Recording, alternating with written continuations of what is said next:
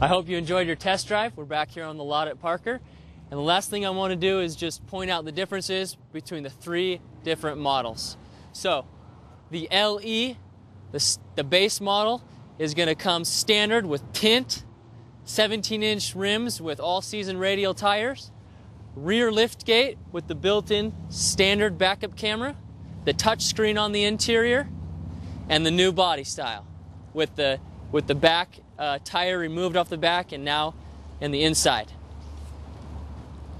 The XLE is going to have everything that the LE has with the addition of the sunroof, the moonroof, the dual climate control, the sport seats, and you have the option of adding Entune along with the navigation system on touchscreen.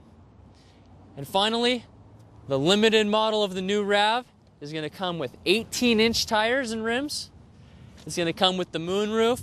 It's going to come with the Softex leather material sport seats on the interior. And you're going to have an optional JBL upgraded stereo system with the optional Entune and navigation.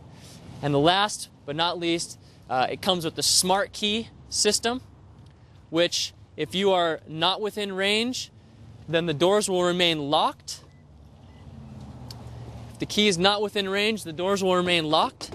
But if the key is within range in your pocket or purse, as soon as your hand touches the handle, the vehicle unlocks, which is a really cool feature.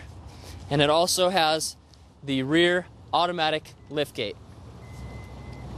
And you can actually adjust this liftgate to different heights for different people.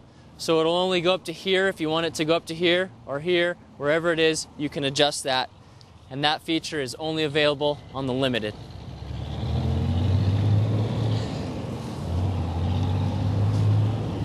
I thank you for joining me today. To answer the question, how do you take an already excellent product and make it truly exceptional? You add a little passion. So come on down to Parker Toyota and drive one today, and let's go places.